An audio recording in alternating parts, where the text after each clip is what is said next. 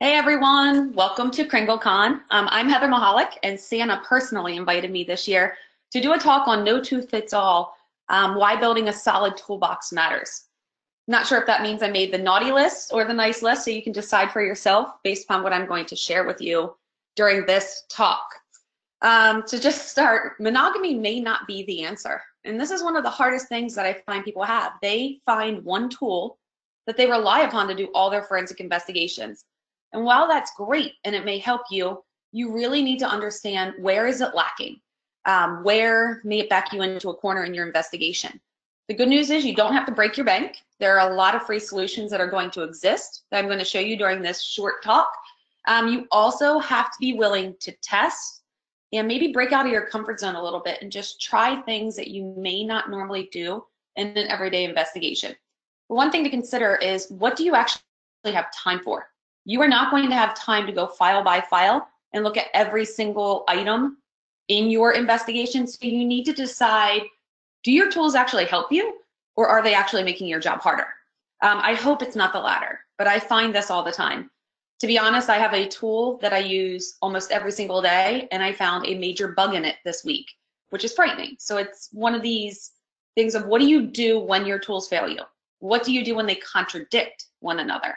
Um, what happens when the tool updates? Does it actually make everything better or does it lose some capability?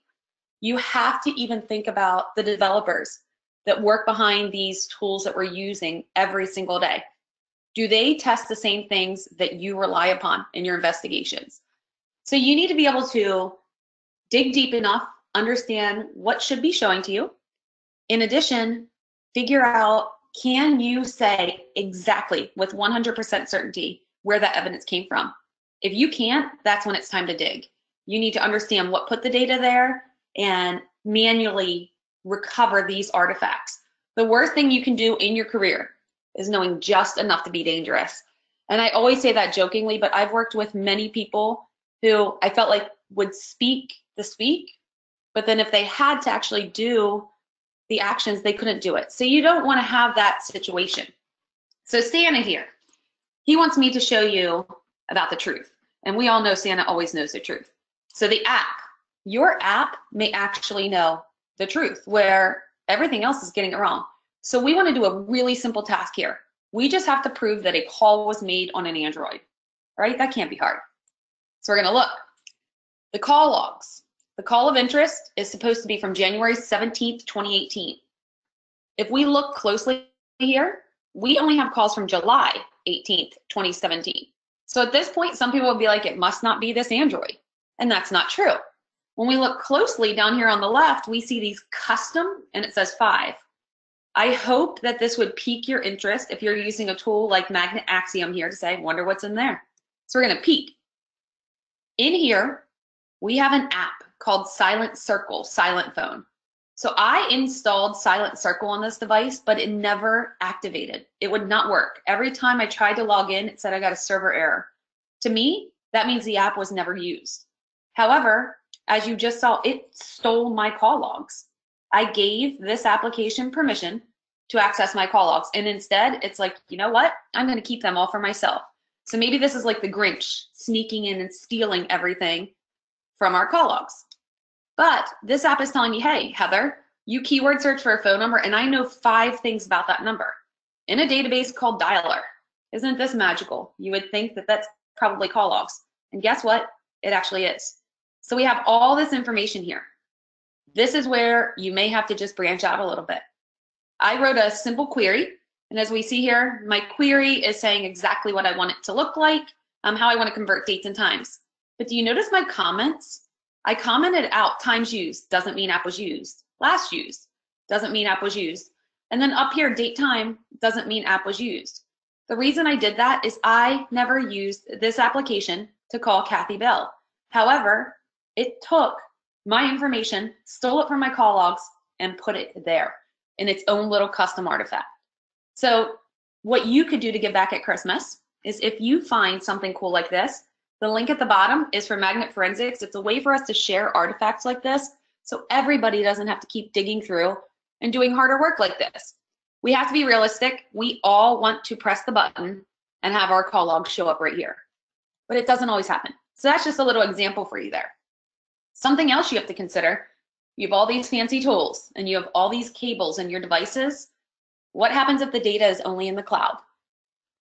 First thing you have to consider is do you have authority or consent to log into cloud data? You cannot just go rogue and log in and pull things from the cloud. That'll be very grinchy of you, so do not do that.